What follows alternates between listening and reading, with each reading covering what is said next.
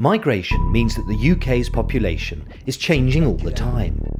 And for every migrant coming to or from the UK, crossing the border means a different kind of life. We can't always see them, but boundaries and borders are actually all around us, and wherever they are, they mark and create difference. Bus lanes and street signs show there are different rules and regulations in a particular space.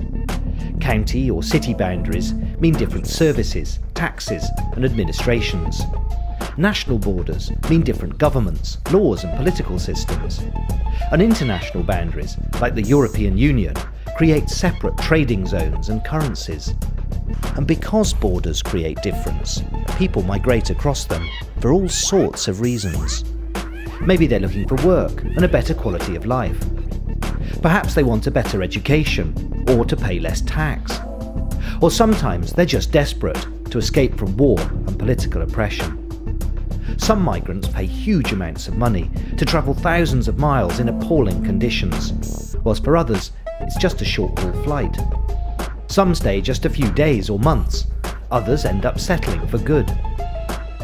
Some find well paid jobs and good housing, Others are exploited by unscrupulous employers and struggle to live at all. And because borders and political situations are changing all the time, so too is the way migrants are treated and where they come from.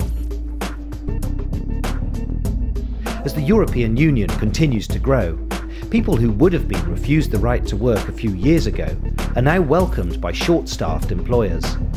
And with every new conflict around the world, there are more and more people in need of a safe place to live. And every new migrant has a different story to tell.